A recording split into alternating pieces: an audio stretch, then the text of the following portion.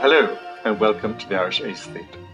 Previously, I was talking about Peter and Elizabeth Latouche, the couple responsible for building Luggelaw, a magical lodge tucked deep within the Wicklow Mountains. Luggelaw is situated at the bottom of a valley reached after a steep descent. Its location helps to give the place its very special character and explains why the Latouches chose to build their retreat here. An interest in field sports would have provided Peter Latouche with an additional motive for acquiring Luggelaw. In 1775, he was painted attired for a day's shooting by an Irish artist with the appropriate name Robert Hunter. But Luggelaw's appeal for the couple would have been primarily aesthetic, and indeed one might almost say spiritual. It's worth remembering that in 1757, Edmund Burke, who was well known to the Latouches, had published his treatise, A Philosophical Inquiry into the Origin of Our Ideas of the Sublime and Beautiful, a work which helped to define the Romantic movement's attitude towards nature. That attitude can be seen in this painting by the 18th century Irish artist George Barret of the Wicklow landscape, similar to that at Luggelaw. And that spot, set in a deep valley between two vertiginous mountains, clearly conformed to romantic notions of what was the sublime. Indeed, almost immediately after the lodge was built here, it began to be painted by artists such as Cecilia Campbell, who found in the place all the necessary qualities to produce pictures that would thrill any viewer, especially when the scene can be seen bathed in moonlight. Visitors eagerly flocked to the site, led here by writers who enthused about its dramatic beauty. The author of an 1822 Guide to Wicklow, for example, declared himself awestruck that the first view of Luggelaw should be of a bold, awful, and sublime character. Fortunately, he recovered sufficiently to give a full account of the place. The Latouches soon found themselves inundated with requests to visit their little rustic retreat. They were remarkably tolerant and did allow other people come onto the estate. As early as 1805, it was announced that a part of the building is allotted for respectable strangers where, in a spirit of Irish hospitality, beds and attendants are provided.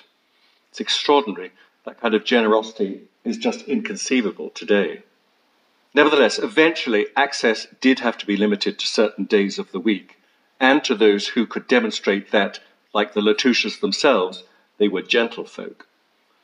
But evidence of Luggelaw's abiding popularity is demonstrated by a print produced in the 1830s showing the estate's boatman, Charlie Carr. He acted as a guide for visitors and appears to have been a precursor of the modern day hipster. In 1826, one author noted that Carr's face was covered in black whiskers of unusual magnitude, of which he seems vain, and suffers to meet in a sort of ruff that covers his throat and the underpart of his chin. Obviously, a large part of Luggelaw's appeal was the house itself, perfectly located at the head of the valley and with views down to the shores of Lough Tay. Regrettably, we have no idea who was responsible for the building's distinct design described by the late Knight of Glin as being that special brand of 18th century Gothic that rejoices in little battlements, crockets, trefoil and quatrefoil windows, and ogee mantelpieces. In fact, the Gothic of pastry cooks and Rockingham china. Luggelaw is the best extant example we have here in Ireland of a style that has come to be known as Strawberry Hill Gothic. Strawberry Hill in Twickenham outside London has been mentioned here before when we were discussing 18th century Gothic, that is, Gothic spelt with a K at the end, and being a style which treated medieval architecture as a kind of treasure chest of decorative details to be raided at will. Thus, it's possible to see that, for all its Gothic trimmings, the trefoil windows and ogee mantelpieces to which the knight referred, this is essentially a classical building in which the laws of symmetry remain all important. Notice how the entrance hall, were the wallpaper to be changed and one or two items of furniture removed, would have no appearance of the Gothic whatsoever. So the Latouches, and whoever might have been their architect, were being very up to the minute in choosing this particular style, but not being too serious or slavish about it.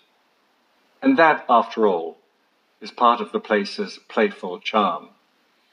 In the next episode, I want to explain how Luggelaw passed out of the Latouches' hands and who was its next owner.